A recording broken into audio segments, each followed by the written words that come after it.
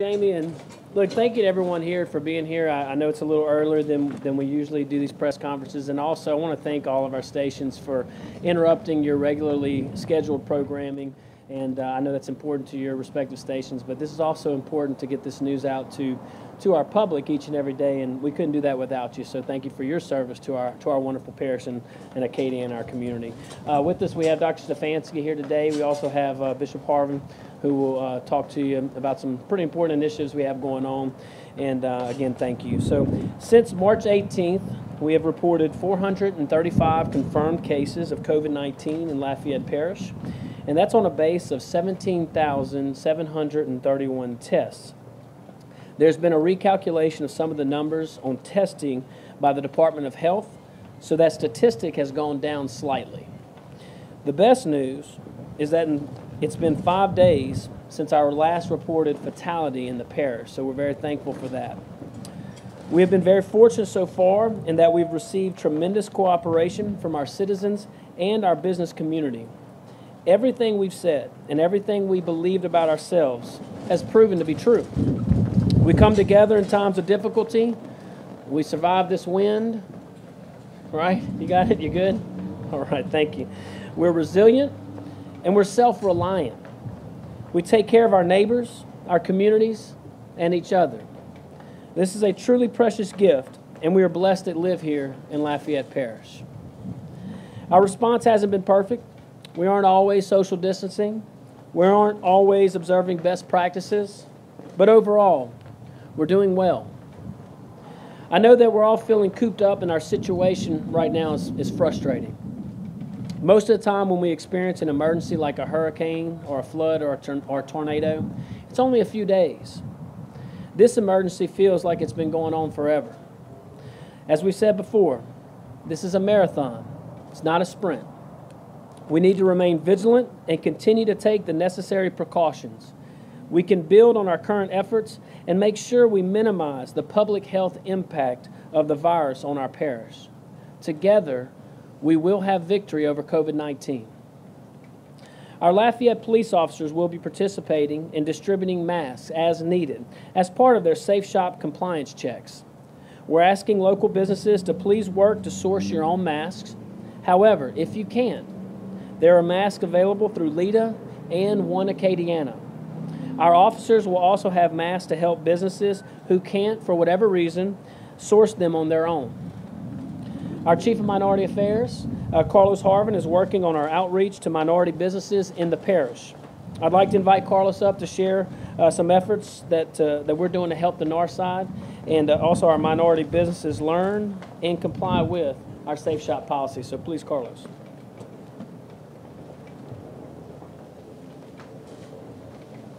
I want to thank our mayor president, and um, I want to thank Gregg Gothreaux with LEDA, and we want to thank the Haynes Corporation that donated 100,000 masks uh, to Lafayette Parish so that we can begin an outreach to our businesses to keep the safe shop policy uh, in effect. We want to keep our um, shoppers and residents of Lafayette Parish safe as they go and we slowly begin to uh, open uh, shopping and stores again. 20,000 masks have been made available with, in partnership with One Acadiana. We want to thank them for their partnership. And we're going to be going door to door. We're going to be reaching out to businesses on Moss Street, Evangeline Thruway that are in districts one and five. As we begin to slowly open businesses, we want to make sure that customers that go in are safe. The employees, the frontline workers, They've got masks that are able to um, uh, keep them safe from, so that we can slow the spread and stop the spread of coronavirus. Uh, uh, we're going to give uh, two for each employee.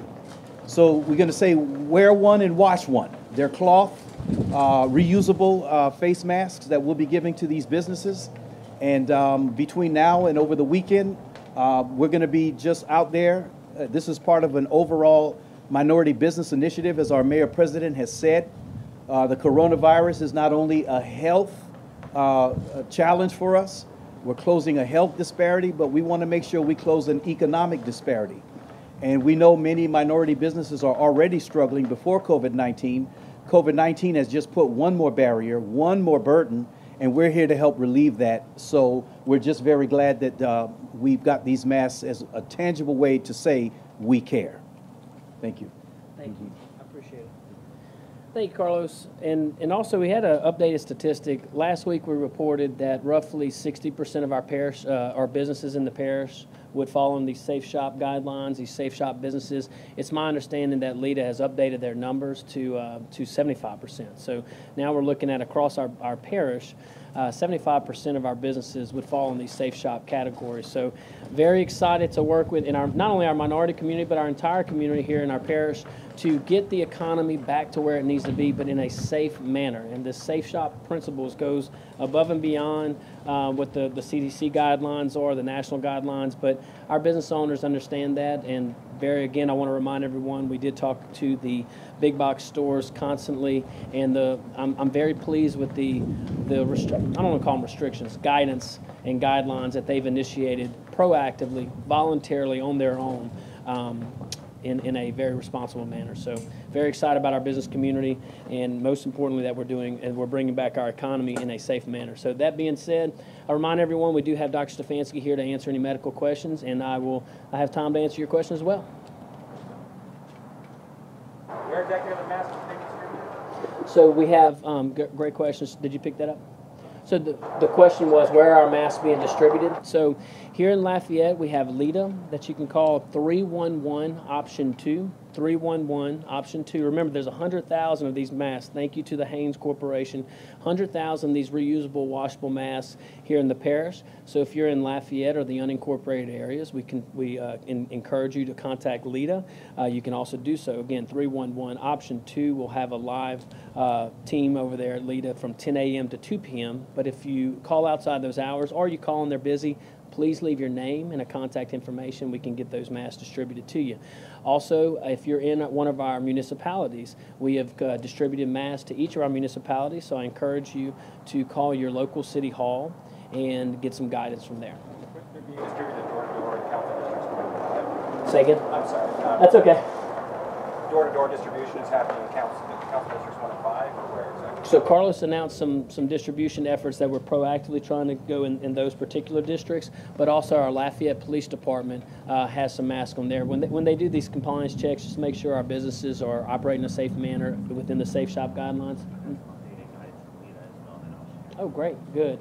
But our Lafayette Police Department does have some masks on them that they'll uh, help our businesses get to, to in compliance. Uh, Jamie Angelle has some updated information whenever he does his presentation in regards to masks. Are compliance checks part of the mask distribution door to door efforts? It's a component of it. So the question was, and I don't know if our microphones, it's picking up. Great. So uh, masks are, it's a component of our compliance checks with our police department, our partnership uh, with our local business community. We want to make sure everybody's safe. Have you started handing out any of those stickers yet, the Safe Shop uh, initiative stickers? Did we bring some? Great. I'm really excited about that. So you know, because our our consumers, our customers in our parish, um, you know, they want to know that their businesses are, are compliant, safe, and you know, you, you have the visual uh, checks. The there we go. We have the visual checks. If you want to zoom in on this. So thank you to LEDA and, and one Acadiana, and thank you to our team here at LCG. So uh, maybe we can distribute some of these to our partners here in the media. Um, it, it's it's just one other way to, to help our consumers know that they're safe and that, that these are proactive measures that our businesses are taking to, uh, to make sure their shopping experience is, is not only quality but it's also safe, which is our number one job at, at any any public official. I know, I think it was yesterday you had mentioned that you had conversations with some of the big box stores, Yes. Academy, so on and so forth. Have you had any further conversations with either big box stores or even small businesses about moving forward? Not well, yes. I haven't had any conversations since yesterday, but but the conversation about moving forward, uh, definitely. So I'm, I'm happy to please by Friday, and we reported yesterday.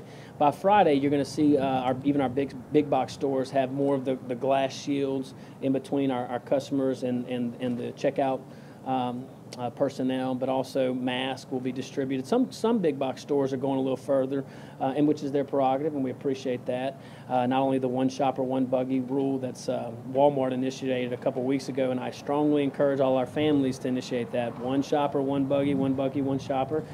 Clearly, Chris, there'll be exceptions. You got the elderly, and sometimes you need more than one person. We understand that. We just encourage encourage everyone to make let that be the exception, not the rule. So, but I'm, I'm excited about our conversation. I'm excited about our teamwork with our big box stores and all of our businesses. Yes, sir. There's been protests across the country uh, Yeah. by people that say, hey, we need to open business back up fully. Uh, you can't tell me what to do. You're, you're infringing upon my civil liberties.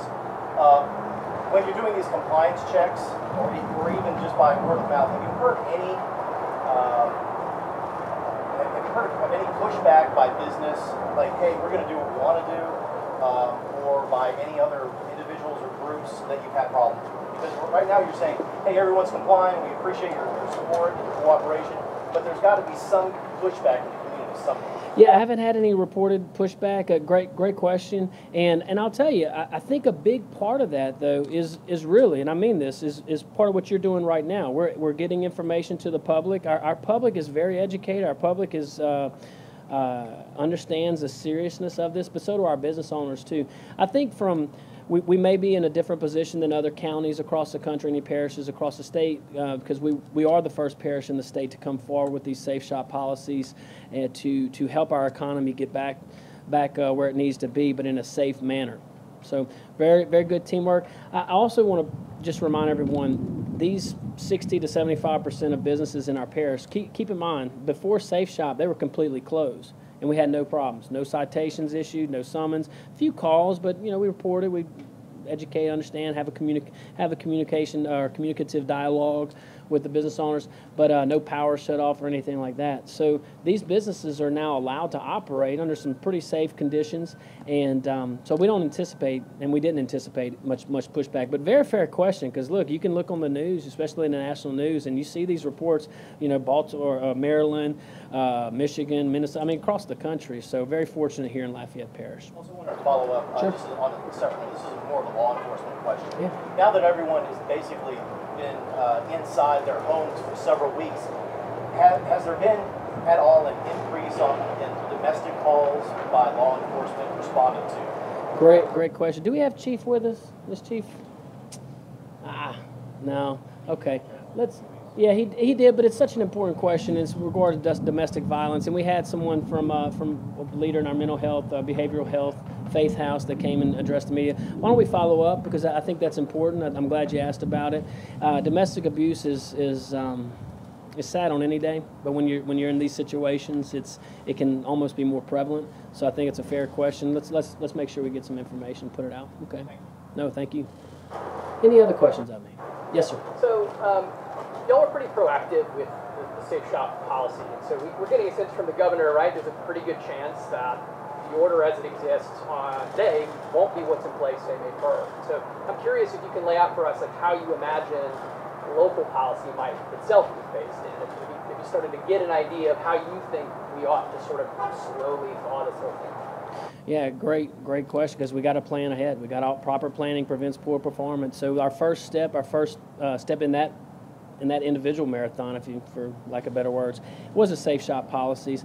I believe the next step that we're that we're going to consider and, and obviously get the advice of our medical task force and our medical leaders uh, is to maybe address that occupancy level. That's that just kind of seems a little more natural. The mask works, the social distancing works, washing your hands, and every time I'm asked that question, I, I have to remind our, our viewers out there, our constituents, the number one line of defense.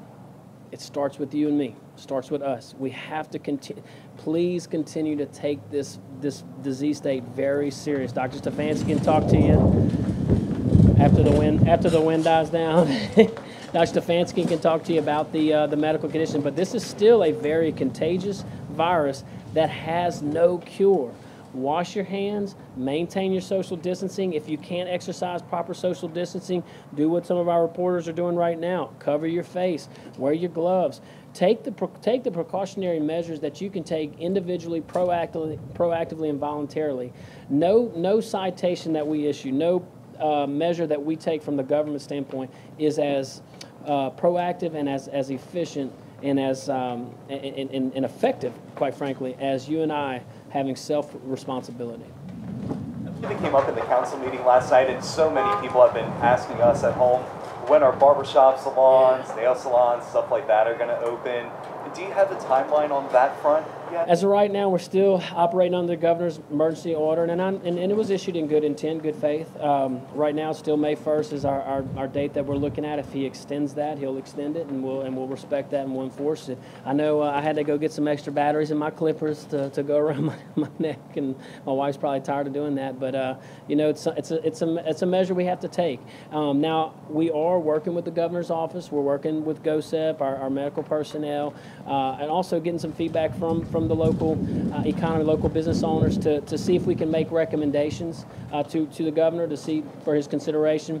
And um, you know, he's got a daunting task. 64 parishes that that that fall under his. Uh, his jurisdiction, and I, I know he's working hard. I know his, his team is working hard to keep us safe, and and uh, they've been very they've been extremely receptive to ideas. So this is not a, a totalitarian state. I mean, he's he's very uh, he's made himself available, and and so is his his cabinet. So we appreciate that. Do you think that there might be a chance that the governor might say, we'll go parish by parish and let the leaders of that parish make that decision? I think that's probably the more realistic approach. If, if I had to guess, and, and I and look in full candor, I don't have that guidance, so I'm, I'm purely speculating. Uh, and but my recommendation to the governor would, would be that, and that, and I think a lot of local leaders have that same uh, same mindset. But this is this has been a two way street the whole time, and and I and I, I compliment the, the governor's office again for being so receptive when we have these ideas, because you know especially when when when this first broke out, Louisiana was such a hotbed. Orleans Parish, Jefferson Parish in that area, Caddo Parish, and again the good doctor can opine on that way better than I can. Um, I, I, I know this sense of urgency because I was in that fight with him, and, and, I, and, and so is Dr. Stefanski. So uh, I think his swift measures were, were, were kind of blanketed to the whole state for that reason. But now that we have more data, now that we have more intelligence, we have more facts, our, our people, our constituents are, are more uh, informed on the situation. We've had time to kind of take everything in. Our business owners, I can tell you in our parish, know the severity of it, not just on the economic side because that hits them directly, but medically. And the market has a way to, to, to work these things out. I, you know, we say this a lot too businesses are going to want to make sure that their consumers feel safe because that's going to help them drive business. And our big box stores did that proactively. Our safe shop stores are doing it, and many of our safe shop stores too. And our police department can opine. Well, maybe tomorrow we'll have chief over here, or we'll get chief over here. And um, a lot of measures they're taking are above the, the safe shop restrictions as well and guidelines. Can, can you describe the compliance part in more detail? How exactly are you going to be enforcing the Sure. guidelines? Are you going door to door in every district, or how does that work? Yeah, well, we're going, we're responding to calls, number one. So we still encourage everyone out there, you can still call 311, option two, to report some uh, questionable activities, or if you feel like a business is not in compliance, that's fine. Our sheriff has made his office available. Call the sheriff's department, call your local chiefs of police, or your local police department across the parish in, in each of our six municipalities. So that's that's the first line. But we also have our police department department going out and checking on our business. And notice how I phrase that. It's compliance checks. It's literally it's it's we're not going in there guns ablaze, and We're not going in there kicking the door in. We want to help. We want to help our constituents be safe. We want to help our businesses be in compliance. That compliance is key to keeping our the number one issue, which is to keep our public healthy and safe.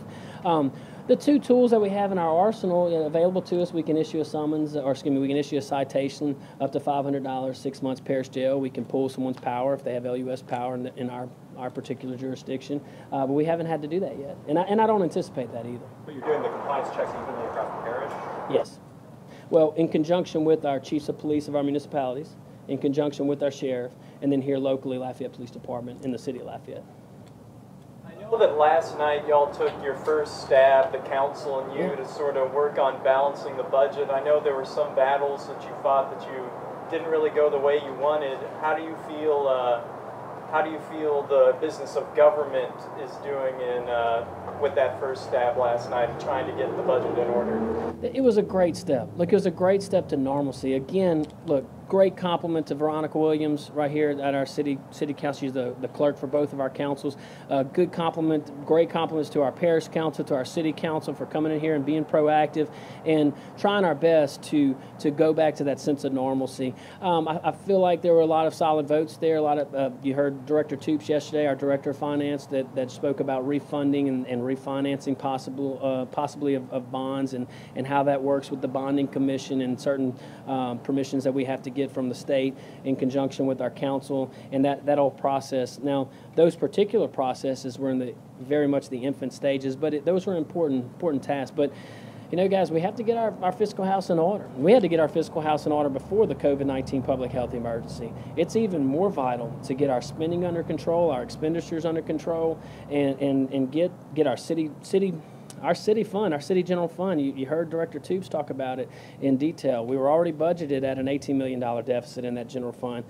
The, the forecast put us at an, another, an additional 10 million. That's, that's kind of scary, but we will get through it. I look forward to working with our city council. I work, look forward to working with our parish council. We have good, honorable people serving on both of our councils, and we have a good collaborative effort, and we're going to get through this. A few weeks ago, you had a few weeks ago you had uh, a call to action for people to donate to share the light. Yeah. Have y'all seen a response to that? So we have, I don't have the numbers. I'm glad you brought it up. So again, please promote that because it helps people in need. So Jamie, if we could follow up tomorrow and get Chris and, and, and the crew some information on that. Very, very honorable um, effort that we're making here locally. And, and again, it just goes to the, to the charity and to the heart of Acadiana, to the heart of Lafayette. So thanks for bringing that up. Any other questions? How many testing sites are currently in operation? I don't have the exact number. Um, I do want to remind everyone. Um, you know, Carlos talked about the the impact. Uh, several days we've all talked about the impact that it disproportionately that it's hitting our minority. This this very deadly disease is hitting our minority uh, neighbors here in our community. So I do want to uh, promote SWLA here on Patterson Street on the north side. It's free. You walk up, you can drive up free testing. If you test positive, it's my understanding, doctor, that they would actually test you again to confirm. That's my understanding. We can we can follow if we need, uh, but that's great. So also, I want to direct everyone for testing sites in our parish. Please go to our Facebook page, Lafayette Consolidated Government (LCG's) Facebook page. Uh, Jamie and the communications team does a wonderful job of, of getting that information out. And there's a spreadsheet that we posted that, um, that, that you can see the exact locations, addresses, and, and a lot of our locations have phone numbers too. So. I know a lot of our viewers have been asking about gyms, and uh, in particular, we heard that you had a conversation with Red Lerille. Uh, if that is true, um, can you elaborate on what that meeting was about? Sure. No, we met with him uh, yesterday. Uh, Mr. Red Lerille is a pillar of our community, great, great human being, but also a good business owner. And um, not only him, we met with uh, Tim Metcalf, owner of Deano's. I can go down the line. A whole bunch of our, our really our our business owners, a lot of our business owners in that one of those groups that uh, of industries that have been closed. Remember, there's three groups in our parish: essential businesses, the safe shop businesses, and then there's that still that business under the governor's order that are expressly closed. And um, it was a healthy dialogue. It was a healthy dialogue as far as suggestions on what we can recommend to GOHSEP, what we can recommend to the governor for, for his consideration. And everybody's acting in good good faith. The, the governor's acting with good intent, with good faith. His team is. Our business owners understand the severity of it. You know, Red, you mentioned Mr. Reb. So Mr. Lerille understands that it's it's different times that we live in, um, but it doesn't mean that we can't try to find ways to spark our economy in those industries. Because I'm gonna tell you, there's a lot of restaurants out there that are being crushed by this. I mean, crushed. They don't have the op- the possibility or opportunity to do curbside or drive-through that maybe some other restaurants do. So it's not hitting our businesses proportionally either. We recognize that, and we're just working with our community to find ways to get those guys back into business in a safe approach and a medically safe uh, steps. So that being said, I, I would, Dr. Stefanski, do you have time? It is my distinct honor, as always, and I truly mean this, to, to introduce Dr. Stefanski. She's not only leads our medical task force, she leads Region 4 here in the state. She does, she's a great practitioner, but she, look, her, her knowledge and wealth of knowledge is, is just a benefit to our community, definitely to my administration, me personally. So thank you for all that you do. And um, everyone, Dr. Stefanski, thank you for your time. God bless you. Thank you, Doc. Hey, and before I get to y'all questions, I just wanted to say a few things, um, you know, to acknowledge that we've had since uh, since this uh, crisis started in our state, in this region, you know, close to 80 people who have passed away. So just to acknowledge that those families, um, the, the, caregivers of those individuals, you know, of course, our thoughts and prayers are with them. And um, and you know, of course, not uh, you know, not to even I hate to even mention the same breath because I know death, of course, is um, you know, is, is, is the most uh, awful consequence of this virus. But we also know that individuals who are at home struggling financially and have lost their jobs. And I just um, want everyone to know that we know these stay-at-home orders um, have significantly impacted individuals, of course, lives lost, um, but on, but also individuals who are sitting at home struggling with mental health issues, um, financial issues, and we just appreciate um, the community of Acadiana responding to our request, um, the state responding to the governor's request to stay home and help limit the spread of infection. And just know that, um, that again, that uh, the sacrifice of everyone is not lost on us. And so um, families and individuals are in our thoughts and prayers. So uh, do you have any questions for me? Stefanski, do you support the Mayor President Safe Shop initiative?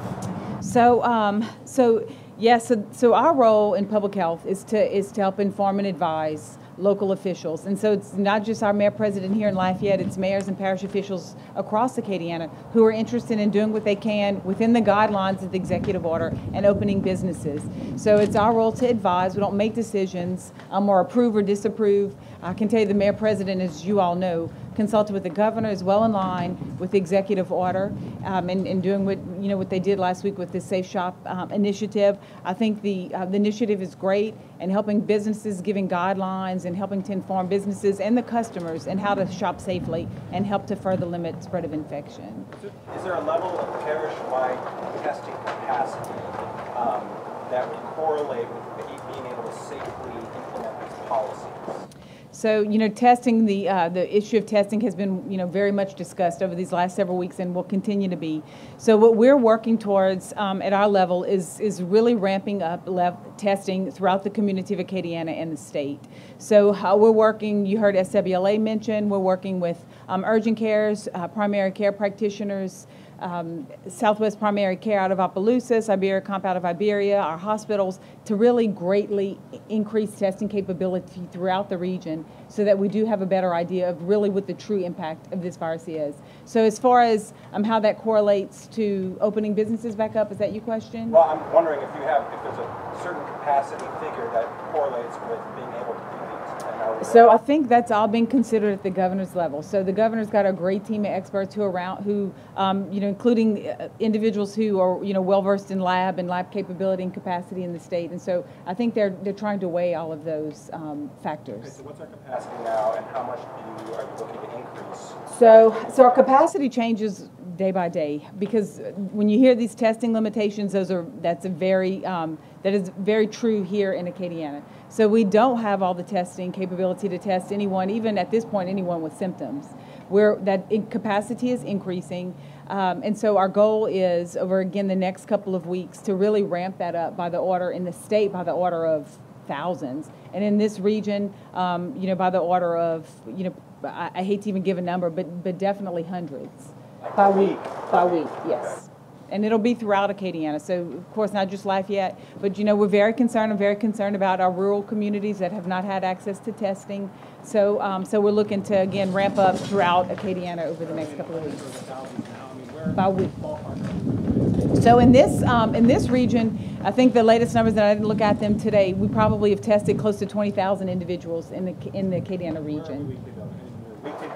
That you're mm-hmm. laying out for yourself where are we now? So in our weekly goal, right now, we, we want to increase by the order of probably two to 300 tests a week is what we want to, is our goal to increase weekly in Acadiana, throughout Acadiana, in the region. Yeah. Oh gosh, it's very hard to tell because of all the commercial lab uh, testing that we've, so I really would hate to give you a number that's not accurate. But, but definitely we know we want to increase, um, and this is all coming from the state level and for the governor's level, looking at, um, we've actually done a very good job of testing in this region, and we're testing more individuals, mostly through commercial labs, um, private providers, hospitals. We are actually testing um, at, a, at a higher rate here than in most other parts of the state. Vansky, just to follow up on the previous mm -hmm. question, it sounded like uh, you were all in on the Safe Shop initiative before that decision was made. I'd like to know what your advice was to the city and parish before the decision was made. Because so, we were not at that press conference when they actually uh, announced that, and I noticed that. I was like, well, wait a second, is she on board or not? No, no, just I had something else going on that day. Uh, yeah, so, um, so, but, so again, our role is so parish officials you know, decide, um, you know, business, economic development, that is firmly um, within, clearly, their role. And that's a, you know, of course, a huge task, it- and especially at this time. So what we do is when, uh, when parish officials, and again, this has been happening throughout Acadiana, uh, when they talk to us and say, hey, this is what, you know, we've, we've consulted with the governor, this is what's allowed, how can we do that safely? How can we accomplish this safely? And so then we just talk about measures um, to, in order to accomplish that. So, you know, parish officials, the Acadiana Planning Coalition has been doing, we've been talking with them as well, um, with Mr. Larry Richard in Iberia Parish, and so we've got lots and lots of parish officials we're having the same, the same conversation with. And so those guide, the guidance that you saw where individuals should social distance, wear, uh, wear face coverings, screen employees, have access to hand sanitizer, keep your hands clean. Those are the basic guidance that we gave to, you know, to, um, to the mayor president, just as we are to other local officials. But I do want people not to have a, you know, to, to realize that we're still under, so it's, not to have, not to be, a, not to give a mixed message, but we're still under a stay-at-home order. So we still ask individuals to realize through the end of this month, uh, there should not be any false sense of security. Yes, we're seeing the number in hospitals gradually continue to decrease, which is wonderful. Uh, we're seeing fewer people on ventilators, um, but we're still seeing, we still know that this virus is circulating in our community. Our best chance of getting to where we want to be um, over the next couple of weeks and months is to drive the level of infection down so low that you really decrease the risk of transmission once things do start to slowly open back up um, across the state. So we really just implore people to stay home. Um, if you do need to go out because there's something that you need that's essential, one person in the household should go. When you do go, follow the safe, safe shopping um, initiatives and guidelines to, again, reduce your risk of exposure. Um, but again, only one person in the household go. Parents, keep your children home. The teenagers shouldn't be running around hanging out with their friends. Um, it's still a time to, again, uh, we don't want to we don't want people to have a false sense of security and, and we just urge that people follow those guidelines again that the mayor president just laid out and that the governor has been reiterating as well Department of Health website said you may start counting probable deaths. Yes. Can you kind of give us an idea of what that is and how those will be counted? right so probable deaths um, should start to be reported and and y'all probably know more about our website sometimes because uh, it changes every day i can tell you we have a bureau of health informatics who's been working um, to really update and give as much information um, as they as much good information once it's been vetted. So one of the things is probable cases that'll be reported, and those are individuals who the coroner um, uh, lists COVID-19 as the cause of death on the death certificate, but there was no test run on those individuals. So that's a probable death. They don't have a test result, but uh, but again, the coroner uh, felt that COVID-19 was a contributing factor in their death. Do you have any information about potentially a cluster of COVID cases at a nursing home in New Iberia? I'm hearing from multiple sources that one nursing home in particular has nearly 40 patients or residents uh, that were COVID positive, that more than a dozen employees were tested positive for COVID, multiple hospitalizations. We're not getting we're not getting any answers from the nursing home. And we reached out to Larry Richard, the Iberian Yes. Parish president, and he said to ask you. Yeah, so, um, so I'm glad you asked me about nursing homes. So we won't comment specifically on a nursing home. You know, we've talked about this before, but it is no surprise that we're seeing in this region, around the state, around the country, clusters in nursing homes. Y'all remember when uh, when this first started, when we first started to hear about COVID-19, it was on the West Coast, and the first real outbreak was in a nursing home. So it's not a surprise. We've been working with the nursing home for weeks, um, and as uh, you know, last night in Opelousas, um, Ken Cochran, the CEO of Opelousas General, you know, brought such a great point that we don't we need to not forget about those individuals working in nursing homes. So we, we talk a lot about uh, healthcare workers um, being on those front lines, and that includes those individuals in nursing homes. But nursing homes is is really, unfortunately, a perfect setting for something like this virus to spread very easily. Um, that's the most vulnerable population. So we expect to continue to see clusters in deaths in individuals who are in nursing homes. The nursing home staff, we've been working with them. Uh, they're, you know, the right PPE. They're following infection control precautions. It's just a very contagious virus, which is again where, why we're back to saying please stay home, reduce your risk of exposure, reduce your risk of, um, of spreading this virus to other individuals, um, because again it's, it's very contagious in a, in a nursing home. Unfortunately, we expect to see more clusters and more deaths, but I can't comment specifically on one nursing home. But without saying the name of that nursing home in Iberia Parish, can you at least confirm that there is a cluster at a nursing home in Iberia Parish? So there are clusters in a few nursing homes throughout this region. What's driving that increase in Iberia Parish? Is it- is it So, so the way, so what you know, typically happens, you can imagine in a, in a nursing home facility, is that once you have a case or a few cases, again, it's very contagious. Even if you're wearing all the right PPE, there's cross contamination when you're removing uh, PPE. It's um, the nature of caring for individuals who are in nursing home requires very, very close contact. So, um, so it is just again a very easy. Uh, this virus is very easy to transmit, and unfortunately, those settings, I think we're going to continue to see cases. I know Christian, you had a question. Yeah, so I think it was earlier this week or maybe today, the governor mentioned that he likely would not recommend opening up the state parish by parish. and He implied that we would somehow do this regionally. Um, I'm curious if you can kind of speak on what regionally could mean and what, what are the risks that are involved in approaching this parish by parish. So, you know, that's pro- that's I hate to say, but a question I really can't answer. Um, I, I do expect, you know, I will say this: that the governor has, um, and again, as the mayor president mentioned, has a great team of people advising him, and so I have full faith in whatever decisions that he makes um, are going to be very well informed. As, uh, of course, I think we, we can all see um, when he speaks that he, he's clearly well informed and has a great grasp of the situation. So I think you know we'll all kind of learn together what those plans are. Are we still expecting a peak sometime this summer? So, um, so those number, those models have not been. I haven't seen an update since April 18th, 19th. So I'm not sure if any of that has been readjusted. Um, again, the more we, the better job we do with social distancing, the, the less of a peak. You know, we're hoping not to see a peak, but rather just a steady decrease in the number of cases. I, I, I- huh. Yesterday you said that uh, you were keeping an eye on the nursing home Yes. situation in uh, St. Landry Parish. Are you also keeping an eye on the situation in Iberian Parish Yes, where and- I also got that same information about the nursing home So, cluster? yeah, so when I tell you, we, we're talking with every nursing home in our region, regardless of the number of cases. Um, often, they are communicating extremely well with us. How are you uh, keeping an eye? Yeah, on so we, so um, we actually have an electronic database that they report into. And, um, and then we also just, you know, old school, call them, talk with them, review practices. Um, so, you know, our public health nurses or epidemiologists are working with them, giving them guidance. And so it is honestly mostly phone calls. We, you know, we maintain those lists and have great relationships uh, with the nursing home staff. Are there coronavirus cases in nursing homes in Parish? So there are coronavirus cases in nursing homes throughout this region. And I, I want to mention one other thing before, because I, don't want to forget to say this, and there was a great article, um, Dr. O'Neill from Our Lady of Lourdes, I think it was in, in one of the local papers this weekend. But I want people, this is again a nationwide problem, that individuals are unrelated to COVID, staying home when they're sick, and uh, an increase of people dying at home or seeking care at an emergency room when it's too late. So if people are at home, know a few things.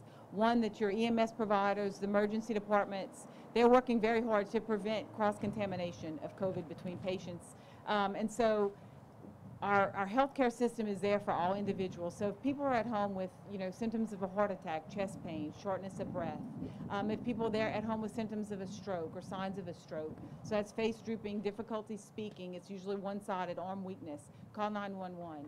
Um, the last, you know, we want people to know that the healthcare system is, um, is safe, acce- and it is accessible for everyone. And, and the last thing that we want is for this virus to, um, to lead to any kind of fear of engaging healthcare as you normally would. So people who are short of breath, chest pain, all the symptoms that I just mentioned, please call 911. Talk to your elderly family members, older family members who are at home and might be scared to do that. Um, because that's just, I just can't emphasize enough that we're, uh, we're continuing to see those, uh, that is a problem throughout the state. They have a loved one in a nursing home right now. So, so uh, we're, we're working with nursing homes. I can tell you, unfortunately, we know that nursing homes are just a prime location for spread of this infection.